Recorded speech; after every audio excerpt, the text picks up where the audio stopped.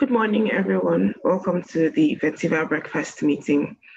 As usual, in today's session, we'll be having a rundown of um, fixed income as well as equity markets across um, equities across West Africa. And also, as usual, we'll be um, rounding up with from our media partners at Frontier Africa Reports um, with headlines from with headlines across Africa. Before we start, we'd like everyone to know that this session is being streamed live on Facebook on our Vetiva Online Facebook page. It's also being recorded and you may, um, and it may be shared with third parties. Also, in terms of questions during the course of the session, you can send your questions in using any of the um, of the comment functions. and at the end of the session, when we have the Q&A segment, um, you may raise a hand or use the raise hand function and we'll be able to unmute you to ask your question or drop a comment. Very quickly, we'll be starting with um, from our Global Equities Desk who will cover some um, West African equity markets. Good morning, Sean. Good morning, Chima, and um, good morning to all our listeners.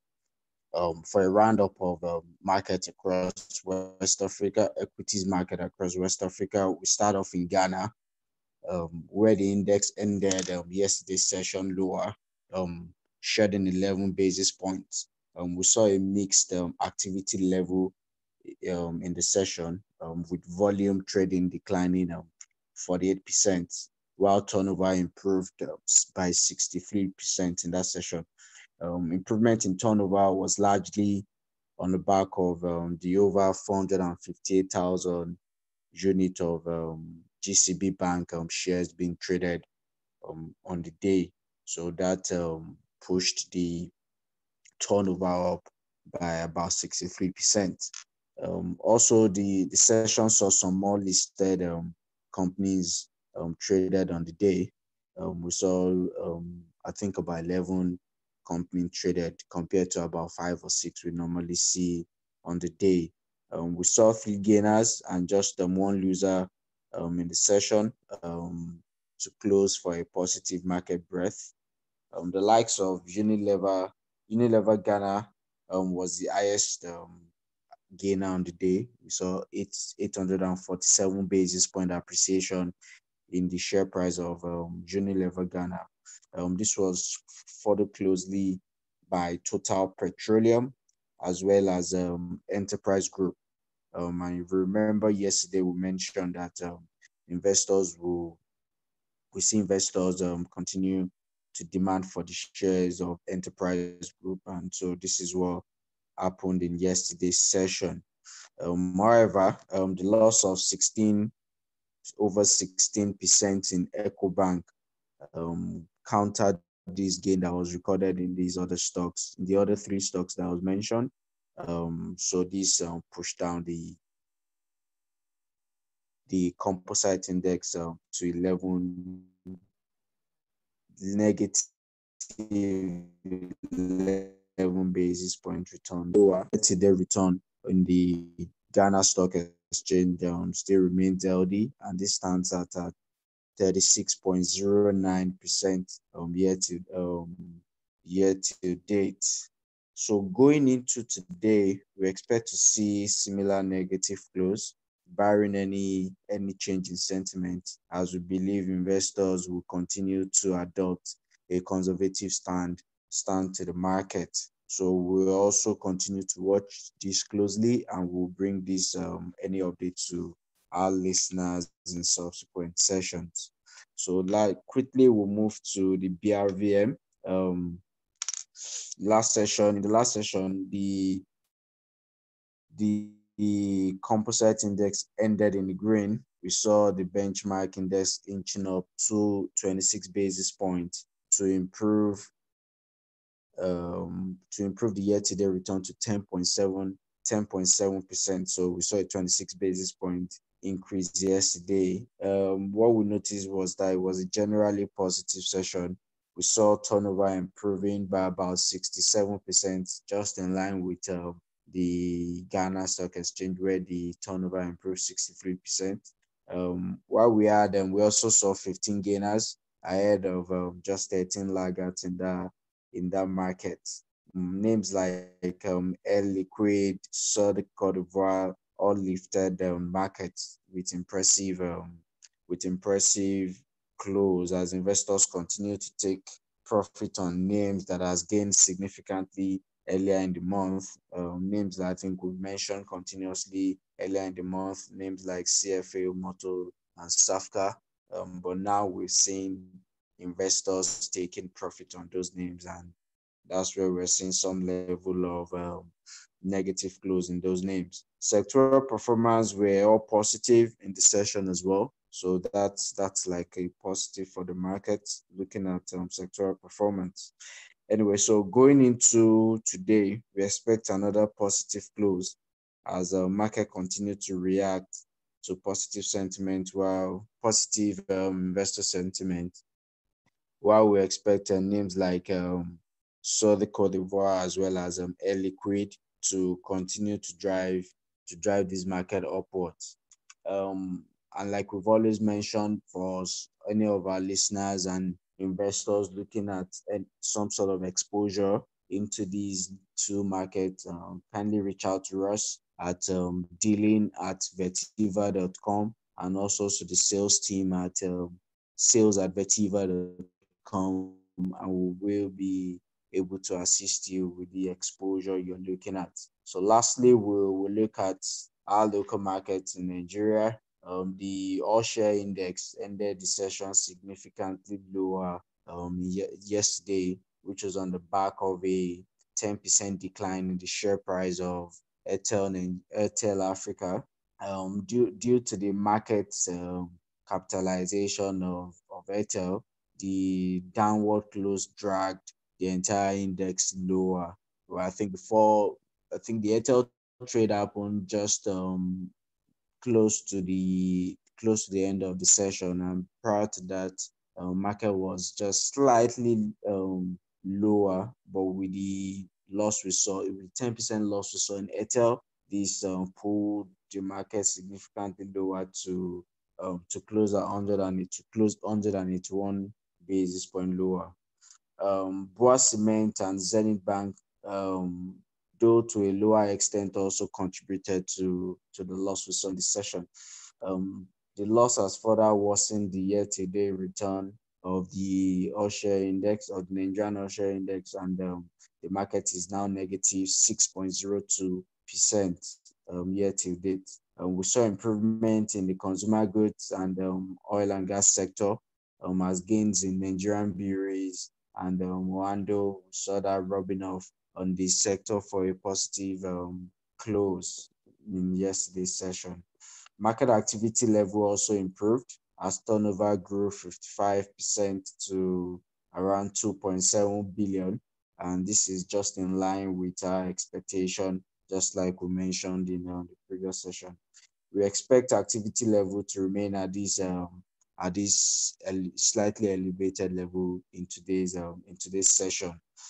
So, but generally for our expectation, um, for our expectation, expectation today, with um, we see we believe with market sentiment looking to have retreated into the negative territory, we see the improved activity level, which is more broad-based now, as a as a pointer to some level of renewed interest in the in the market. So we expect market to trade mixed um, today, though with um, some bias towards a, a positive close.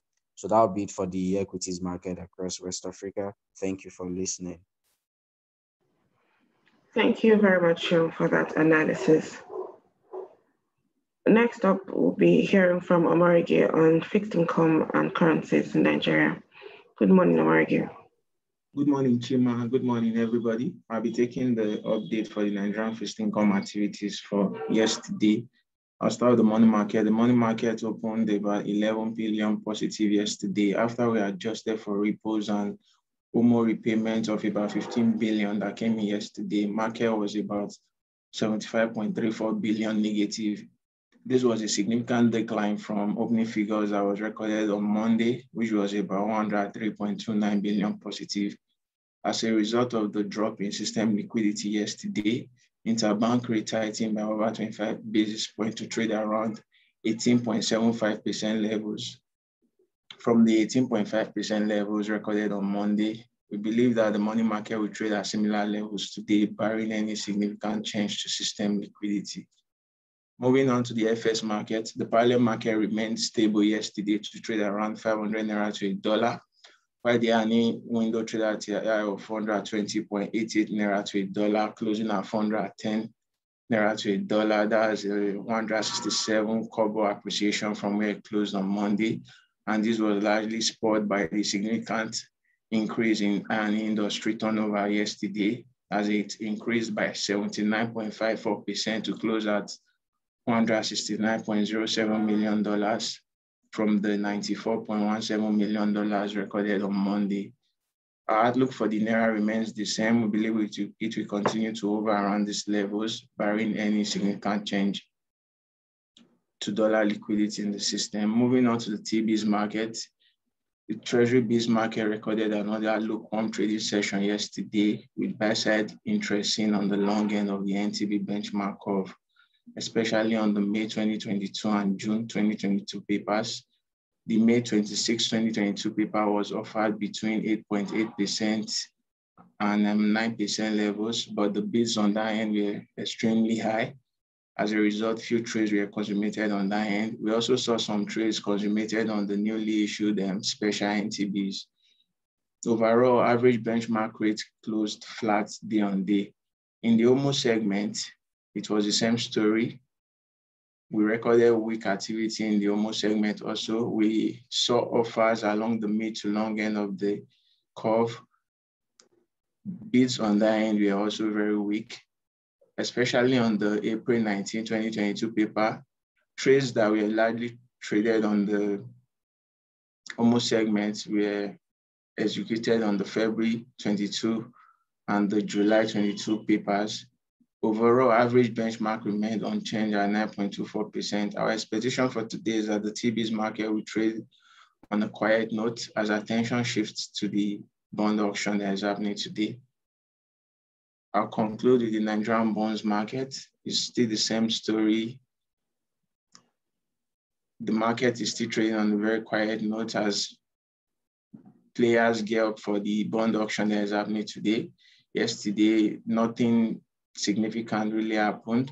We saw mixed sentiment across the benchmark curve as a lot of players decided to stay on the sidelines and wait on the outcome of the monthly bond auction that's happening today, uh, why some decided to create strategic positions ahead of today's auction.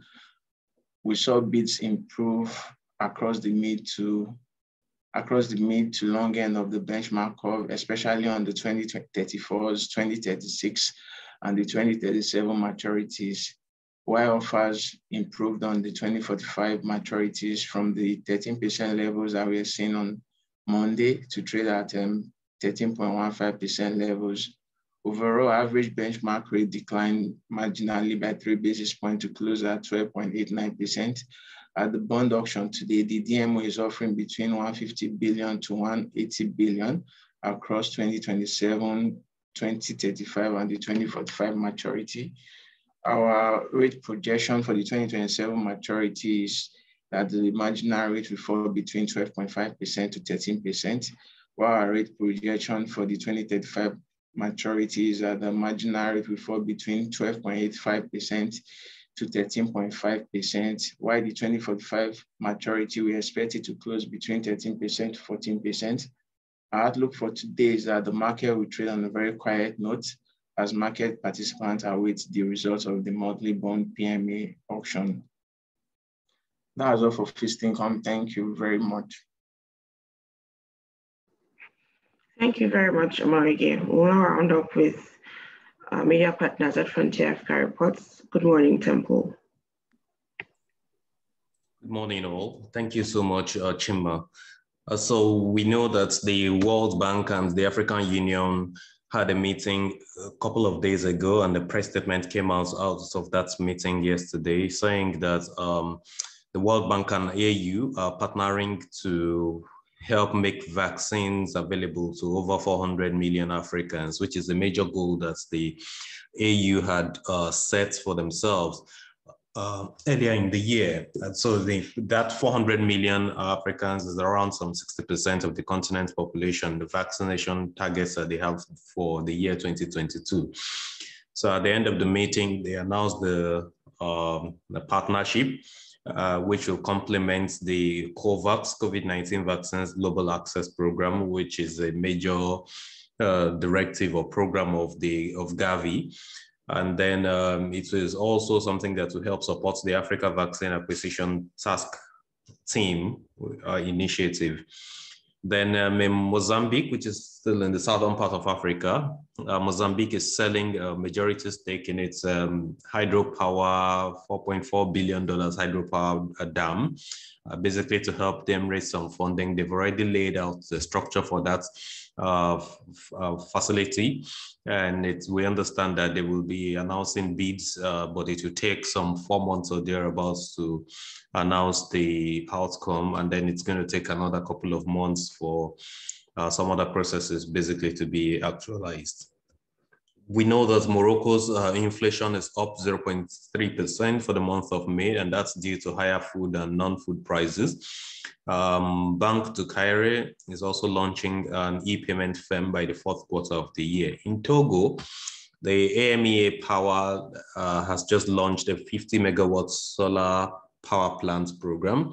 It's a photovoltaic plant, and that we understand is the first utility scale renewable energy project backed by an IPP, independent power producer in that country. Uh, of course, still with power, but this time in Nigeria. Egbin Power is looking to raise $1.8 billion to expand its outputs.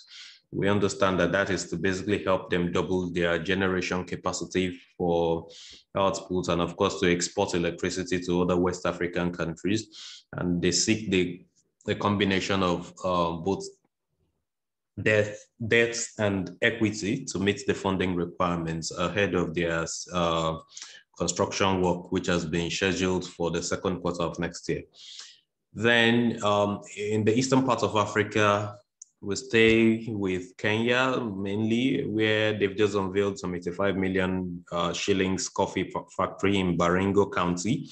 And this is a deal uh, between the Baringo County and uh, a Korean company.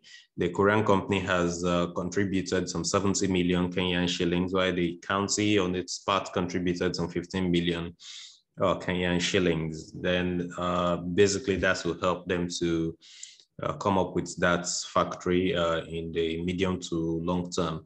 Kenya Bankers Association and of course uh, collaboration with FSD Kenya and Kenya Climate Innovation Center have also just uh, launched a blended finance program for SMEs. basically targets um, risk tolerance and flexible sort of uh, programs among SMEs that are engaged in sustainable developments. And that's basically to help uh, create some kind of climate action, climate change action uh, in that uh, region or in that climate. These are some of the headlines we've got to share with you this morning. Thank you for listening. Thank you very much, Temple, for sharing those headlines with us.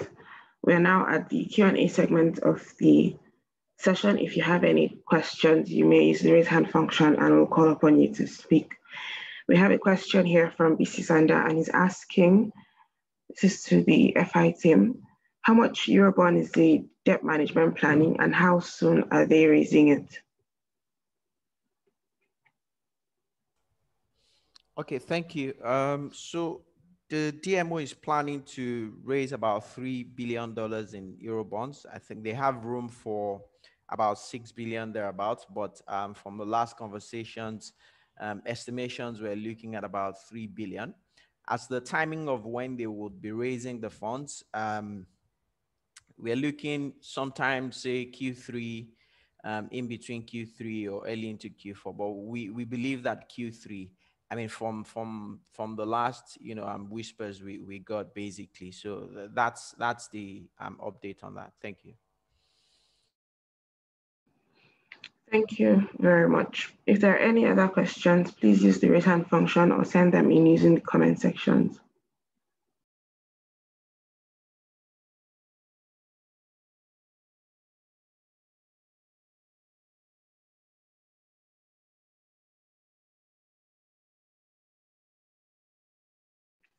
Okay, so a question for the fixed income team again. Uh, I know that Omarige mentioned um, system liquidity at the beginning of his presentation and how um, it was currently negative. So we know that it has been um, fluctuating between the negative and positive territory for a while now, mostly negative. Um, so could you clarify um, what this means um, and your outlook for the for system liquidity going forward? Do you expect it to get stable anytime soon? Okay, thank you once again. So again, system liquidity, like you rightly mentioned, and as we've always noted, has been fluctuating between um, positive and negative in recent times. And this is, again, one of the many strategies of the CBN to keep the system tight um, for two reasons. Uh, to take care of inflation on one hand, and on the second hand, to um, as part of currency control measures. Um, again, demand and supply economics playing out here. Also, when you look at it, um, a huge chunk of OMO of CBN costs was on OMO funding for the last, you know, um, three, four, five years thereabout. And at the time the CBN unwound OMO holdings um, from local investors last year was part of efforts to um, reduce their cost. And you've seen basically in recent times, OMO maturities are very, very minimal compared to the very huge figures we used to have in the last three, four years.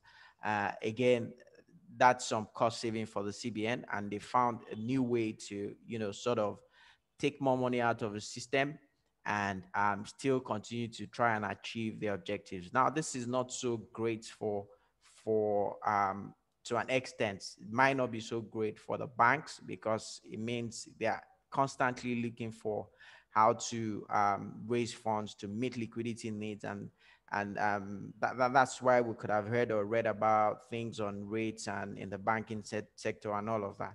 Um, CBN takes money through CRR at zero, and that's why um, banking system liquidity has constantly been um, undulating between um, positive and negative. So again, in, in summary, um, as to how soon this might, you know, peter out, you're looking at are the concerns or are the issues, underlying issues, or are the reasons why CBN is doing this? Are the reasons out of out of um, are we out of the woods with respect to that yet? So the answer is no. So um, it's not unlikely um, that we'll see this peter very soon. CBN might continue to use this means, and the, not to forget as well, all the intervention funds going into different sectors of the economy would definitely be coming from somewhere on the CBN's balance sheets. And we believe these are the funds again that CBN is piling into that. Um, so again, near term, uh, we don't see that slowing down. Obviously, the banks will start making stronger noise at some point, but we've heard them make this noise, you know, as way back as a year and all of that, but nothing seems to have changed. So as CBN continues to manage FX situation, continues to find a way to also manage inflation situation. We would most likely continue to see banks being debited for CR and system liquidity remaining between um, these tight periods and again, um, sometimes where they get a minor breather. Uh, I believe that answers your question. Yes, it does. Thank you very much, Dapo. I see that we no we have no other question for us today. If we have any questions during the day, we encourage you to send um, your questions to us at research at vetiva.com and we'll send responses out to uh, you. We thank everyone for joining us in this session today. We hope that you have a productive day ahead and we also hope to see you at the same time tomorrow. Thank you for joining. Good morning.